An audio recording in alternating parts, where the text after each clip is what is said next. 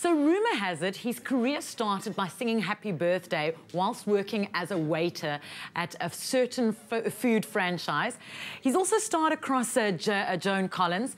Rumor has it he's attacked his computer not once but twice with an axe. He's also recently one of the first South Africans to be roasted on uh, a comedy show, and he's joining us live on Expresso, having released uh, just under 2 million albums in South Africa, and he's been in the industry for a quarter of a century. Steve Hofmeyer. Sounds welcome. like I've done nothing remotely stable in my life. maar dit mos waar. Splinternuwe album, splinternuwe DVD. Dis hy. Is jy opgewonde? Baie opgewonde na 25 jaar. Voel dit eintlik soos die eerste keer. Ek is van daai kunstenaars wat net nou daai eerste keer ontgroei het nie. It's, it's about exciting as that. You know? ja. Ah, DVD. Ek's baie baie ek ek het nogal min DVD's uitgebring die afgelope tydperk. So hallo daar 25 jaar. So 'n som totaal van al die dinge die afgelope paar jaar. So wat is op die DVD? Hoekom moet mense dit gaan koop? Dis presies die konsert wat ek nou doen, amper woord vir woord. Mm. So as ek nou by 'n konsert uitloop, is daardie konsert in die voorportaal as jy die DVD wil hê. Nou al die plekke waar ek nie by uitkom nie, ook oor see, hier is die konsert. Nou die live show soos hy vandag lyk op die verhoog. Nou jy het gisterand opgetree. Ek weet jy het laat by die huis gekom. Jy was vroeg. Jy was 5 uur vanoggend toe ek eh, afgestap het, was jy al hier? Ja. Het jy nie geslaap nie? Sy lyk altyd so. Nee, She just never drops it. Nee, ons ken mekaar al jare. Ek het PR vir jou gedoen. Ek was in jou musiekvideo. Ek ken nou my ouderdom weg. Jy was in FM Stereo. Jy het ja. die hele show gesteel by the way. Nou. Nee, nee, ons het nie. Jy 25 jaar. Hoe het jy dit gemanage? Hoe het jy bygebly en bo gebly? Seker maar omdat ek 'n passie ding, ek sien dit nie as werk nie, ek sien dit as iets wat ek is. Mhm. Eerder as iets wat ek doen, so jy geen nie om laat jy moet opstaan nie. Dit is vir my in die middel van die nag hierdie maar uh, jy doen dit, jy love dit. Jy weet en ek sal aanhou sing tot mense dit nie meer wil hoor nie. Dan sal ek stop. Maar jy het al musicals gedoen, jy was op die uh, stage, jy was al in soapies, uh, TV shows, flicks, starred opposite Joan Collins. Hoe was dit? Ja, fenomenaal. Mm -hmm. En dit was so lekker om te sien selfs Joan Collins het so 'n nervous streekie. Sy het ook haar teks opgerol in sulke stukkies in haar sakke wat sy ook so af en toe afhaal en teks na die woorde. En ek het so goed gevoel want ek kan die woorde onthou nie en hier staan Joan Collins en sy kan ook die woorde onthou nie.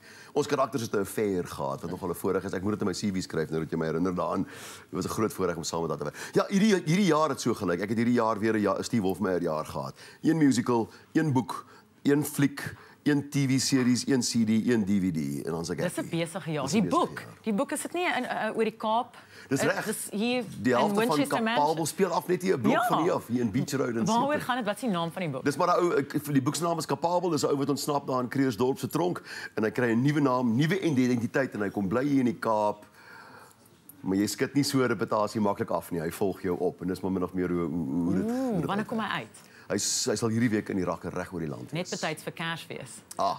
Altyd. En is dit waar jy het begin sing? Een van jou sing waar jou sing loopbaan het nie daar eintlik daar begin nie, maar Happy Birthday by 'n uh, restaurant gesing? Dit het onder andere daar begin. Ek het ook later gevra of jy nie miskien meer van die liedjies kan sing behalwe Happy Birthday. Mm -hmm. Maar dit is baie lek lekker om 'n waiter te hê wat Happy Birthday kan sing vir 'n kliënt wat verjaar. so ja, min of meer. Dit is 'n tragiese begin. Dit is nou nie idols nie, maar dis iets.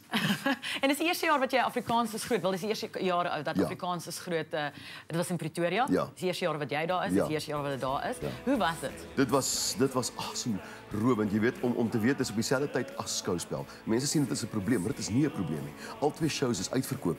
Ons praat van amper 90000 mense wat in 'n tyd wat ekonomiese tyd wat moeilik is vir almal, wat Afrikaans nog so wakker is. So Afrikaans is wragtig nog hier. Hy is groot en onder omstandighede doen hy damn goed. Dit was in 'n kerk in Pretoria, 30000 mense by elke eh, show en soos jy gesê, skouspel terselfdertyd. Ja, het jy ooit omdat dit in 'n kerk was, was aan die drank backstage.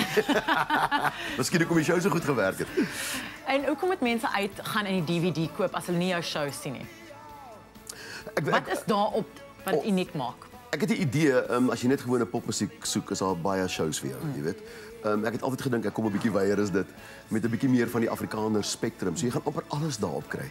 Jy kry 'n bietjie van die Neil Diamond, jy kry 'n bietjie van Antistini, jy kry 'n bietjie van die verlede en die hede, jy kry Engels en Afrikaans, jy kry stil oomblikke, moeilike oomblikke. Jy kry sketse en dan kry jy 'n bietjie patriotisme. Jy kry 'n bietjie rugby en dan kry jy pampoen op die einde. So daar's regtig is regtig so 'n totaal van week is en wat ek gedoen het die afgelope 25 jaar. Maar hoe het jy besluit watse liedjies daarop moet wees? Ek meen jy het oor 160 liedjies wat jy al geskryf het. Nee, Net geskryf het. Ja.